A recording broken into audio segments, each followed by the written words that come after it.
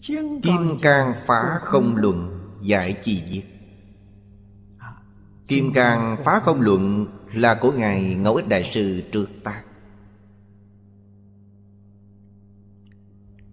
Dĩ chân Như vô biệt xứ sở. Khả tùng bỉ lai.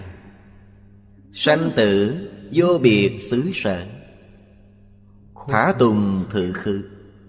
Cố vị hữu duyên tắc hiện Thì như thủy thanh nguyệt hiện Nguyệt thật bất lai. Duyên tận tắc ẩn. Thì như thủy trượt nguyệt ẩn. Nguyệt thật bất khử cột Thử diệt chánh thị bổn kinh Thử tam cố kinh giang chi giải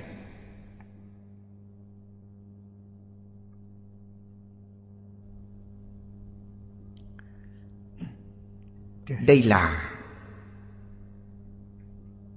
Thật tướng các Pháp. Chân tướng của tất cả Pháp đều như vậy. Chân như Vô biệt xứ sở. Sanh tử Cũng vô biệt xứ sở. Nó ở đâu? Ngay tại đây. Ngay hiện tiền.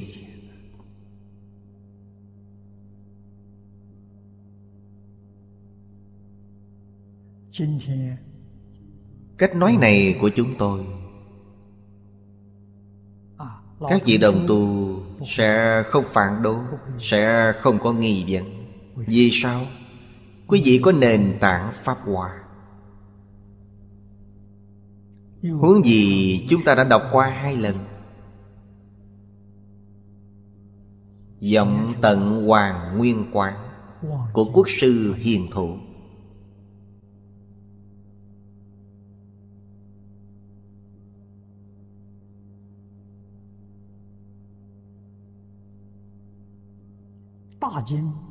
Trong Kinh Hoa Nghiêm nói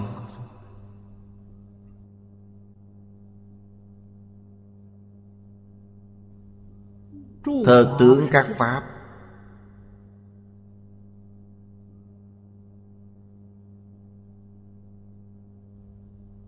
Không có đối lập.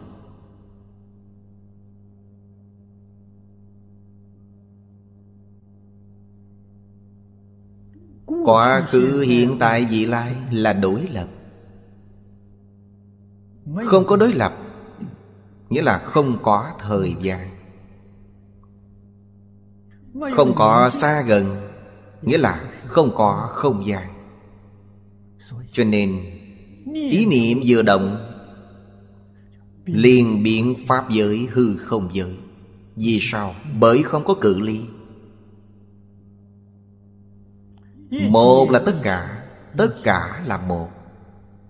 Đây mới là chân tướng sự thật.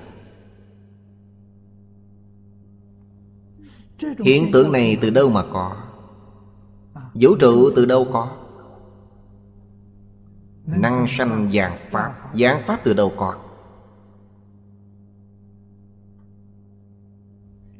Trong Kinh Lăng Nghiêm Đức Thế Tôn dạy rằng Đương sự xuất sanh Tùy xứ diệt tận. Cách nói này của Đức Thế Tôn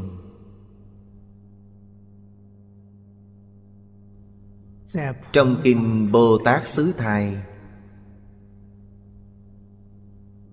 Là đối thoại giữa Thế Tôn và Bồ Tát Di Lặc. Đã nói một cách tường tận thấu triệt. Sao gọi là đương xứ xuất sanh? Cái gì gọi là đương xứ diệt tận? Bồ Tát Di Lặc nói, Một khẩy móng tay có 32 ức, một trăm ngàn niệm. Mỗi niệm thành hình. Đó chính là xuất sanh.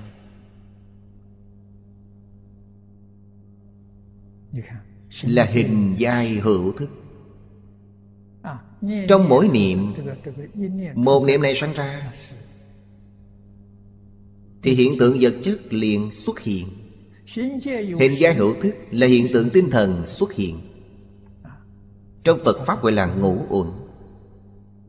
Niệm niệm thành hình Là sắc xuất hiện. Hình gia hữu thức là thọ tưởng hành thức xuất hiện.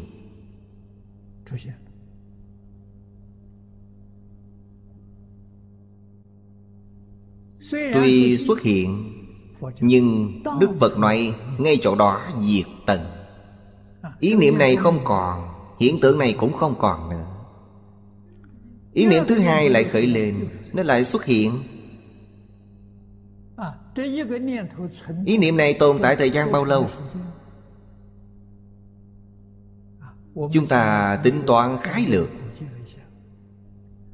Nếu một giây Có năm lần khẩy móng tay thì trong một giây đó Có bao nhiêu lần xuất sanh Bao nhiêu lần diệt tận? Chữ số được tính ra là một sáu trăm triệu một giây. Một giây có một sáu trăm triệu lần sanh ra Và diệt tận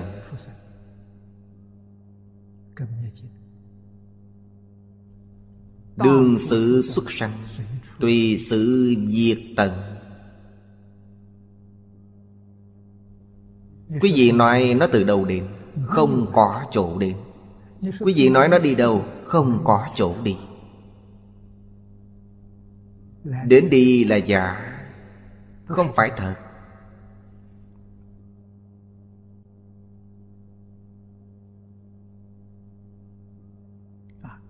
Điều này thật sự giúp chúng ta nhìn thấu triệt thế gian này.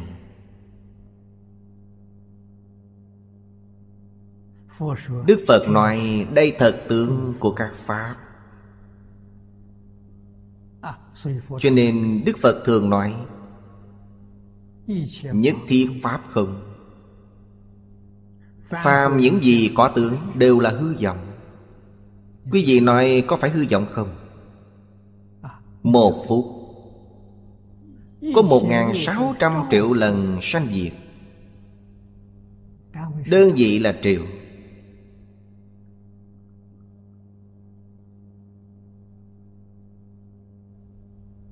Người xưa nói dạng dạng là một ức. Dạng ức là một triệu Một giây Có một ngàn sáu trăm triệu lần sanh diệt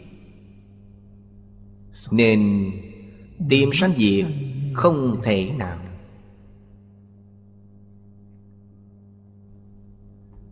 Lời này phải nói ra sao? Dùng bất sanh bất diệt để nói lên sự việc này. Mọi người nên biết rằng, Nếu thực sự không có sanh diệt, Mà nói bất sanh bất diệt Thì chẳng có ý nghĩa gì. Sanh diệt chính là không sanh diệt. Không sanh diệt chính là sanh diệt. Đây là nói về hiện tượng gì?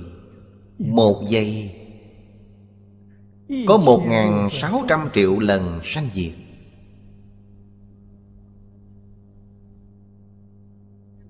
Hiện tượng sanh diệt này làm sao có thể nắm bắt được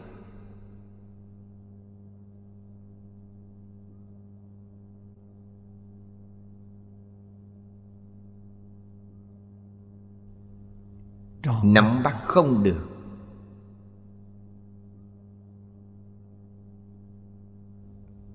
Chẳng những mắt chúng ta không nhìn thấy, Mà tai cũng không nghe thấy. Lục can tiếp xúc không được.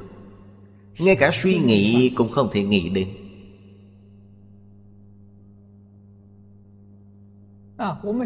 Chúng ta nghĩ một sự việc. Thì khởi tâm động niệm trong một giây. Có một ngàn sáu trăm triệu lần sanh diệt.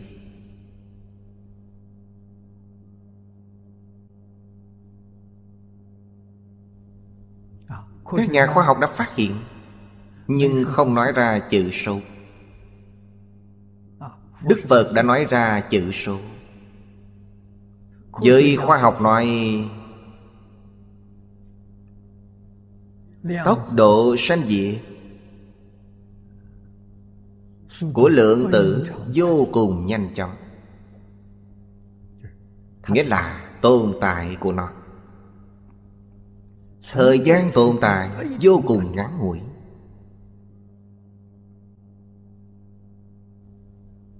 Mắt thường của chúng ta có thể nhìn thấy.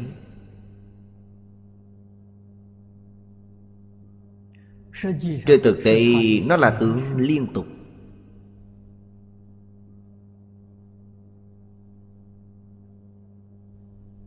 Như chúng ta xem phim Nhìn thấy những hình ảnh trên màn hình Là tướng liên tục.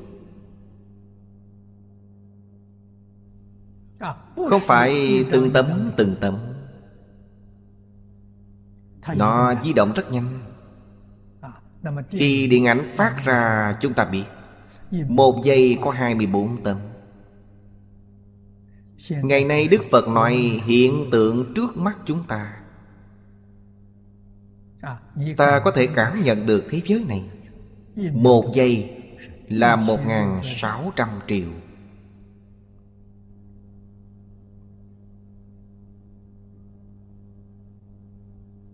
Liên tục đều là huyện tướng Không phải thật. Chúng ta không cần tướng liên tục Chỉ đơn thuần tìm một tướng được chăng? Một tướng chính là ở đây nói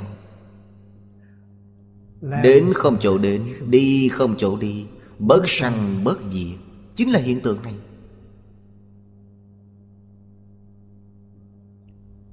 Chúng ta tìm sanh diệt sẽ không tìm thấy, Bởi nó quá nhanh.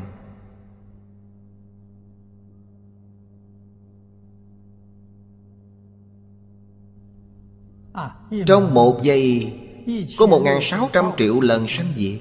Như vậy làm sao tìm được? Ngày nay hiện tượng mà giới khoa học tìm thấy Là chân tướng của hiện tượng vật chất.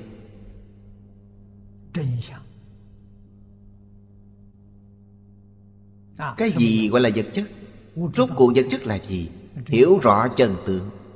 Thì ra nó là hiện tướng do ý niệm tích lũy. Đây chính là nói, tất cả pháp từ tâm tưởng sanh, vật chất từ tâm tưởng sanh. Các nhà khoa học chứng minh, ý niệm và ý thức là nền tảng của vật chất. Nói cách khác, không có ý niệm này Thì không thể có hiện tượng vật chất tồn tại. Hiện tượng vật chất là hiện tượng do ý niệm tích lũy. Chúng ta cho rằng nó tồn tại Thực ra nó không tồn tại. Như chúng ta xem hình ảnh trên phim và trên tivi Những tướng đó Hình như tồn tại, Thật ra không phải. Là tốc độ di động quá nhanh. Di động trên điện ảnh. Chúng ta biết. Nhưng xem tỉ mỉ thì nó có chút chấn động. Vì sao? Bởi một phút có 24 lần chấn động. Hình như có động thoáng qua. Nhưng tivi không nhìn thấy. Tần suất của tivi so với máy chiếu phim Thì cao hơn rất nhiều. Càng nhanh ta càng cảm giác không được. Không nhìn thấy nó là giả. Kỳ thật nó thật sự là giả. Bao gồm cả thân thể chúng ta, Bao gồm cả tư tưởng của chúng ta. Toàn là giả. Đừng cho là thật.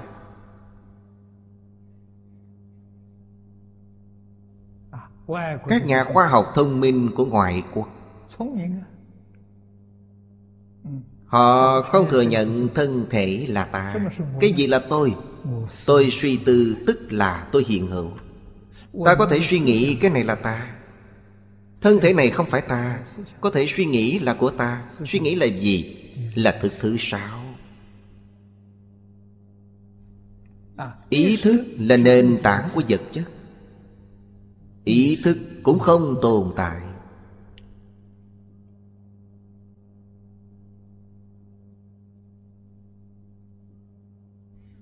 Nó hoàn toàn tương đồng Với tần suất của hiện tượng vật chất. Tần suất chấn động cao.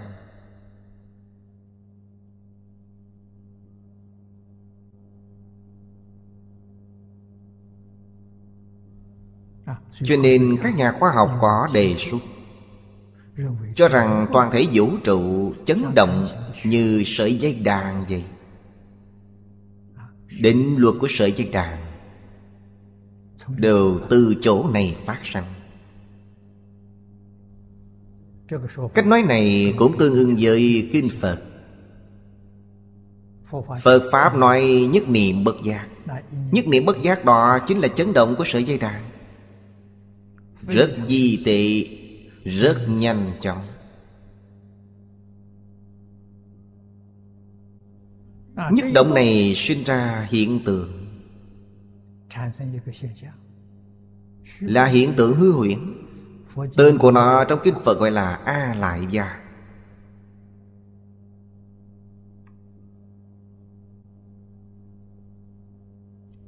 A Lại Gia là năng biến. Muôn sự muôn pháp là sợ biến Nhất biến này chính là mười pháp giới y chánh trang nghiêm.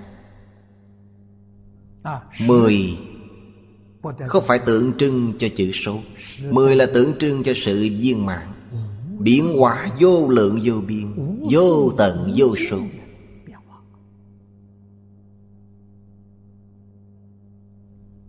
Nó biến hóa theo từng ý niệm của ta Tùy chúng sanh tâm, ứng sở tri lượng